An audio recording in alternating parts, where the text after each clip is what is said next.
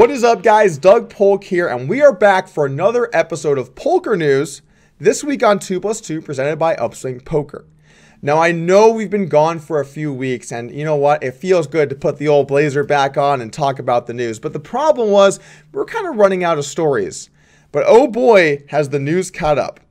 Today we have a slam packed episode, including the Poker Hall of Fame, Alex Dreyfus and the GPL, and Fedor Holz his retirement continuing to yield gains. But before we get into any of those topics, we're going to open up and talk a little bit about what I've been up to for the past month. If you've not been following along on Twitch, I've been streaming fairly consistently. My first couple of weeks of the WCOOP kicked off in pretty bad style and I lost about $200,000. However, with my back up against the wall and really only a couple events left, I managed to have a deep run in the WCOOP 10K High Roller for a 455K score, breaking the Twitch record for largest cash. So my WCOOP definitely going the right direction, and I'm glad I came up to Vancouver to stream.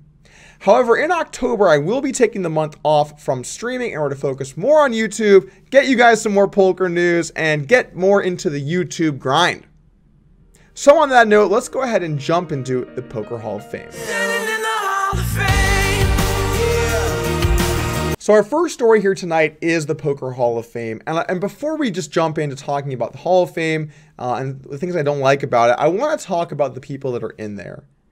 I don't know everyone in the Poker Hall of Fame. I, I know most of the names. I certainly know the big names.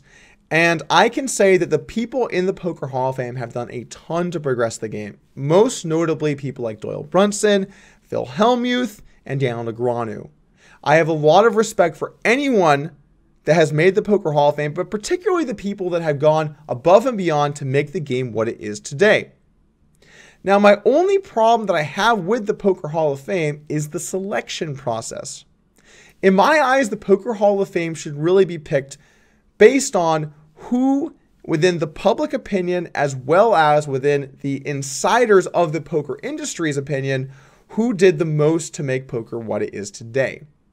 Now, I know that they have a process, but let me explain the process and let me then tell you why I think there needs to be some changes. So, first off, people can nominate players on the Poker Hall of Fame site and then it goes to you know a mystery email address that then no one knows what happens with those votes. Again this is to my knowledge. If i'm wrong i would love it if someone could clear this up but i couldn't really find much on the process so i guess i'm just going to kind of have to wing it. So people can nominate players but there's no there's no real way there's no real way to know who got how many votes you know or, or what happened. And in several instances certain players have made the ballot by being handpicked by former hall or current Poker Hall of Famers. Once you're in, you can't really become a former one. So you can be voted in or you can be hand selected in, but there's no real transparency there in how those people make the ballot. Then, once there were 10 names on the ballot, chosen, we don't know how, all current members of the Poker Hall of Fame are able to vote. They get, I think they get 10 points and they can distribute them across however many people they want based on who they think really deserves it. I know that some people take this more seriously than other people. I stumbled across a Negreanu blog post from this year where he talked about where he wanted to put his points and really gave, you know, weighed in the pros and cons, which is correct. That's definitely the way you should be doing it. However, there's a lot of people on that list, and if some of them can group up and put all their points to certain people, they can really dictate who makes it into the Hall of Fame. There's also some amount of points given to the poker media, and I think it's supposed to be balanced out in some way between Hall of Famers and the media, but it's becoming a little bit more disproportional towards current Hall of Fame members. So, what I think this really needs is I think that the process to get onto the ballot should be a public vote, or at least a vote that we get to see the results to, so we can see what people actually think. Members of the Hall of Fame should be picked in something like poker, where it really is, you know, at the end of the day, it kind of comes down to what people think, what the public's opinion thinks. Those people should be chosen accordingly. If certain players are very popular and have done a lot to expand the game, I think that people voting for them to be on the ballot should be given priority, and we should know why certain people are on the ballot. Like, for example, Isai Scheinberg the person that has started the biggest poker site to date, has done so much to progress poker to where it is now, never makes the ballot, and I'm sure he gets a lot of votes every year. Why is that? Why is it that a person like that doesn't make it when some of the current names do? So I think it's fair in this instance to say that we need to change the process. I think that the way that the votes are tallied and given up should be more public. And we need to make the Poker Hall of Hall of Fame a really great thing to be part of, but at the same time, it needs to be credible in how people make it into the Hall of Fame.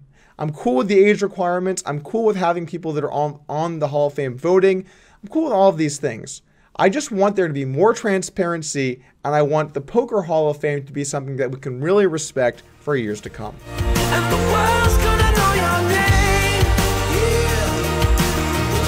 Now that we've talked about the Poker Hall of Fame, let's get down to the meat and potatoes of the episode, which is Alex Dreyfus and the GPL. If you've not seen this thread, and then I have to question what you've been doing, there's a thread in NVG about Alex Dreyfus recently slow paying Fedor Holz and Hendrik Latz. But before we jump into that thread and talk about what's going on with Dreyfus, etc., I want to go down a little bit of memory lane here and talk about some past Dreyfus dealings that are well documented. I want to start off with talking about Chili Poker. Now, I don't know much about Chili Poker. In fact, before this video, when I was doing my research for the episode, I knew actually nothing about Chili Poker. But Alex Dreyfus was either an owner or had some part with Chili Poker. And when Chili Poker went down, a lot of people were not paid out. There were affiliates in threads demanding to be paid. There was there were players that said they hadn't gotten paid out, etc., etc. Now, to my knowledge, the players all got paid out. The affiliates, I'm not entirely sure, but there was probably five, six, seven months of being slow paid, and I just want to kind of show this history of slow paying people. The next incident was a World Series of Poker main event seat, and if you're interested to see more about this, we're gonna have a link in the bio where someone won a main event seat to the World Series of Poker, and then Alex Dreyfus tried to not pay them out the seat. I, I really don't know why. I mean, to save 10,000, I, I don't, I'm not totally sure.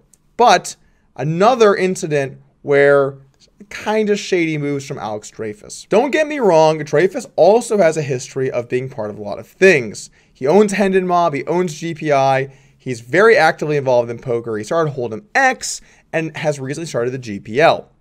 So I would say that his credibility within the poker community was generally high despite having a few maybe questionable incidents.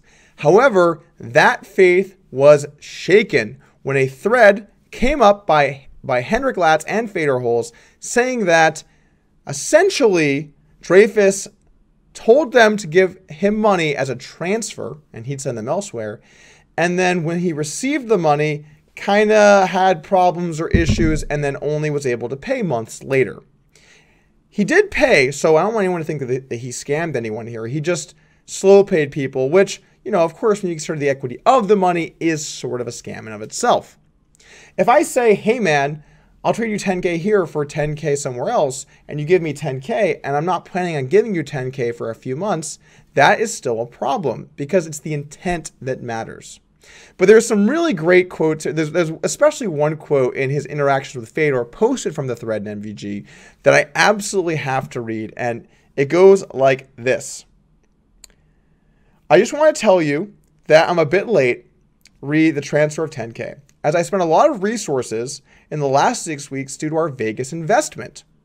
And I'm in the middle of a strategic financing deal, which, if you allow me to have a few more weeks, end of August, early September, to process the euro bank transfer with interest, it would be highly appreciated. I apologize for the delay. Not my style, just entrepreneur life. Hope it is fine with you. And I cannot, I just cannot express enough how much joy it brings me to have the term hashtag entrepreneur life as your reason for you can't pay your transfer. It's not entrepreneur life where you can't pay people back on trades that you said you could do. If you say you're going to make a trade, you need to stand up and make the trade or don't offer to do it. You don't have to take their money and then turns out you can't pay for a while. And also, I don't like making it seem like this is accidental. And this is a good point that was brought up in the thread. If on day one he says, okay, if you trade me 10K here, I'll give you 10K there, and did not have the intent to do that, this isn't like some accident that just kind of happened. No, he maliciously lied in order to obtain funds that shouldn't be his with you know forcing them into having it be a loan to be paid back at a later date. And he talks about in the thread he comes in and posts in the thread that he did pay back with interest which is all well and good. I'm fine the fact he paid interest. Maybe it's good that he did. But the point is this. Hendrik and fedor weren't asking for a loan. They weren't asking to be tied into an interest bearing deal down the road. They thought they were getting a transfer, which is what they agreed to. And he purposefully told them it was a transfer, intending on it being a loan. Okay? That is not acceptable behavior from anyone, much less the person behind GPL, right? So I guess this kind of brings me to talk about GPL. What does it mean for them with this event? Well, first off, I'm not sure if you guys have been following the Twitch ratings. I've been pretty actively involved there, being I've done a lot of streaming. But the GPL ratings are bombing. If you look at their graph and you look at the trajectory of their viewership, it started off super high and people really cared. They were tuning in for the episode, they were checking out all their favorite players, etc. And I do want to give this to the GPL. They have an amazing roster of people that played in it to give it legitimacy. When they tried to sportify poker, I really didn't think they'd get many people at all, and they got some of the biggest names in poker to join in, eh, join into it. So they did a great job with that. They did a great job with the marketing. They really built it up to Sportify Poker, and it really was a smash hit out of the gate. That said, viewership has been dwindling and people are starting to not really care. And you want to know why it is? No one fucking cares about play money. I'm sorry, and I know, well, technically, someone wins a grand prize at the end, but you're not buying in with money. You're not playing with money. You're not gambling with money. This is play money. When I see these guys playing, I'm like, like, why even play?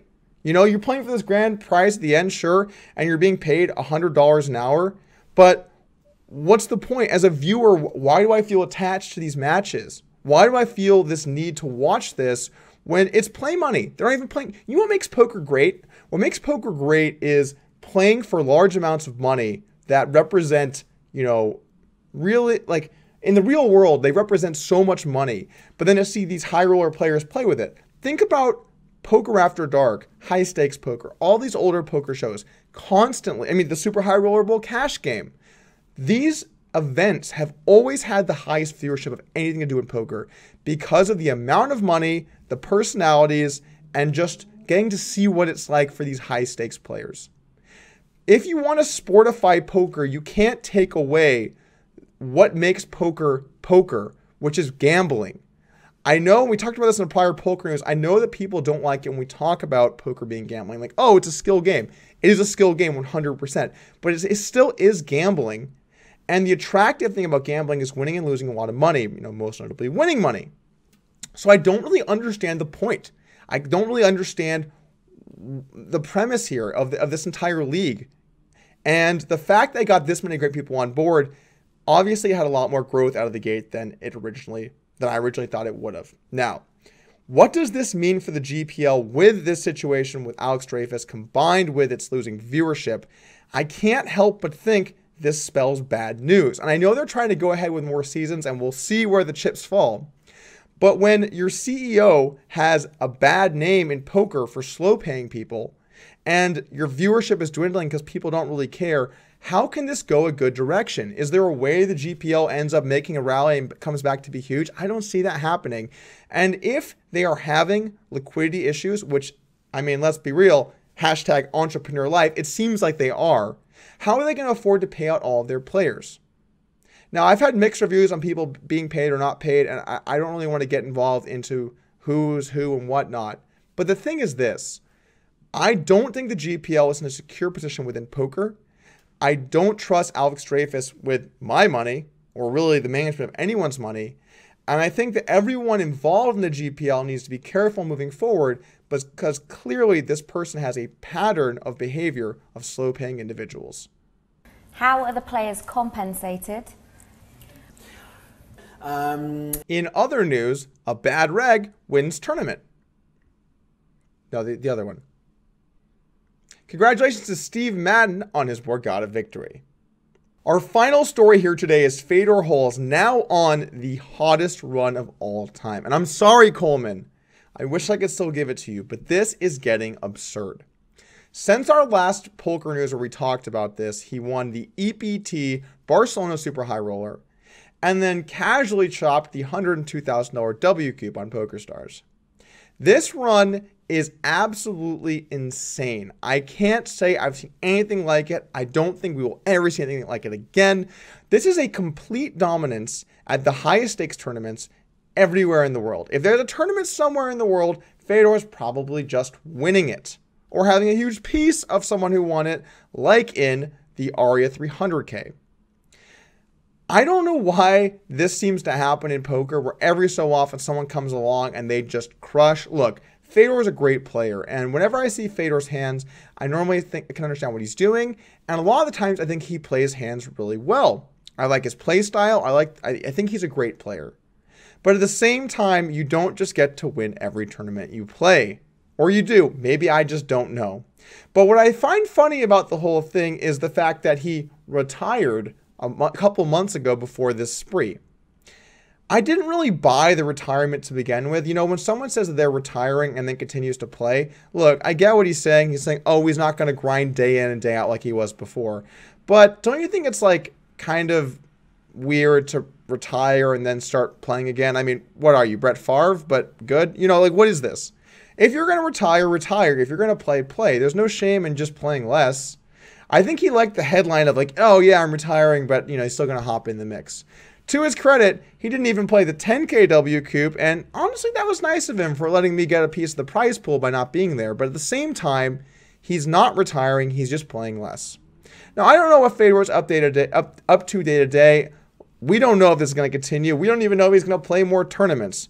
But this is now the hottest run ever, and it's got me thinking maybe, just maybe, you have to retire in order to win all this money. Maybe you have to unlearn everything you know about poker in order to win all of the money.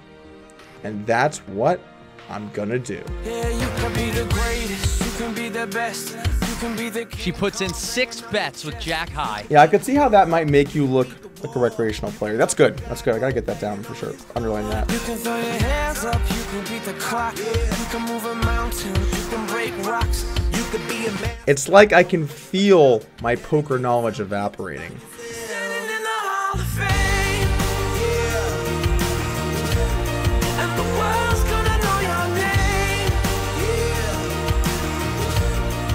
Thank you guys for joining us here today for Poker News. If you want more content like that, hit the subscribe button, join the channel, and prepare for more news.